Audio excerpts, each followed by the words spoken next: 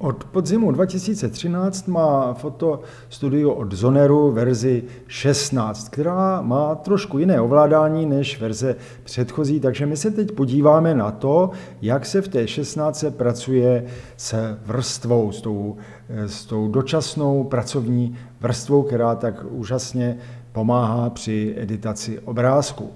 Začal jsem tím, že jsem otevřel fotostudio verze 15, a tady si provedeme takový ten pokus s malováním světlem.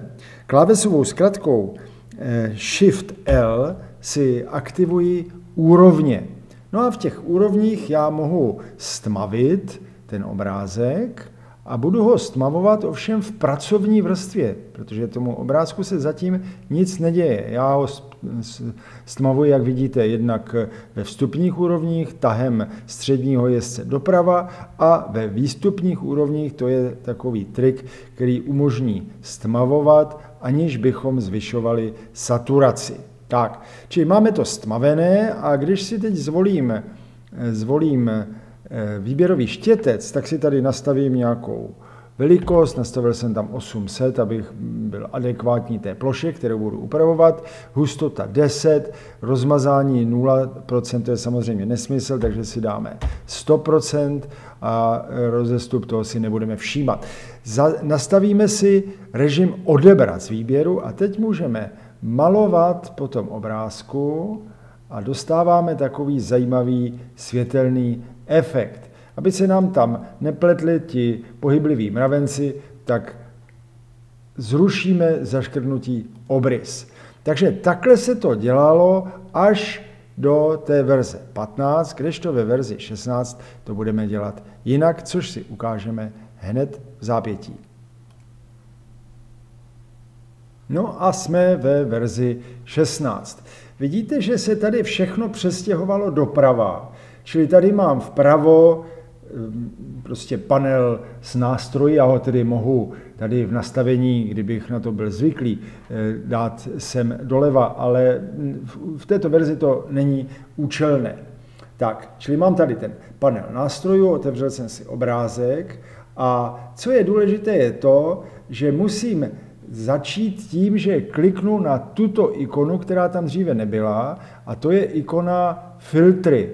A v těch filtrech já si najdu to, co potřebuji, a sice úrovně. Takže si kliknu na úrovně a teď pracuji úplně stejně, jako jsem to ukazoval předtím. Zase střední jezdec, doprava, stmavuji.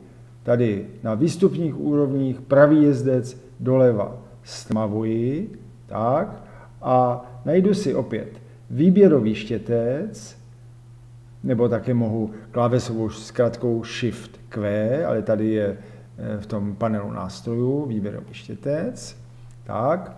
A tady zase přepínám režim přidat k výběru, odebrat k výběru, takže dám odebrat k výběru a mám tady ten obrys výběru, který mě rozčiloval předtím, rozčiloval by mě i teď, tak já si to vypnu. No a teďka budu pracovat pěkně v tom, eh, v tom režimu výběrového štětce.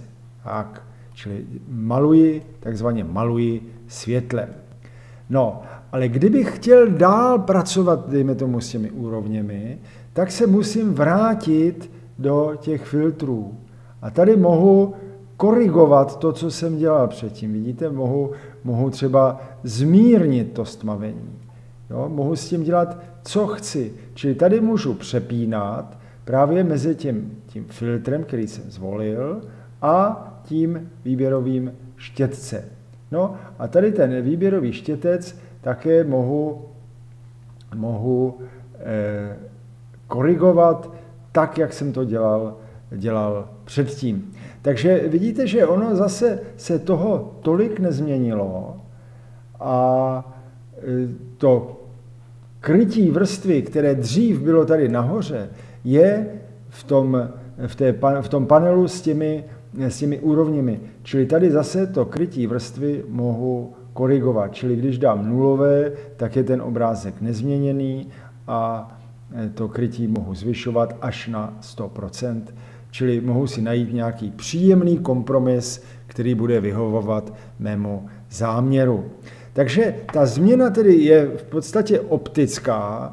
Ta změna spočívá v tom, že se to všecko přestěhovalo doprava a jak si musíme mít jiný návyk, že musíme přepínat mezi tím režimem výběrového štětce a režimem filtru. Kdežto vlastně předtím do té verze 15 bylo oboje otevřené. To znamená, byl otevřený i ten panel nebo ta karta s těmi úrovněmi, pokud jsme pracovali s úrovněmi. Samozřejmě můžeme pracovat s jakýmkoliv jiným nástrojem. Ty úrovně dávám jako příklad.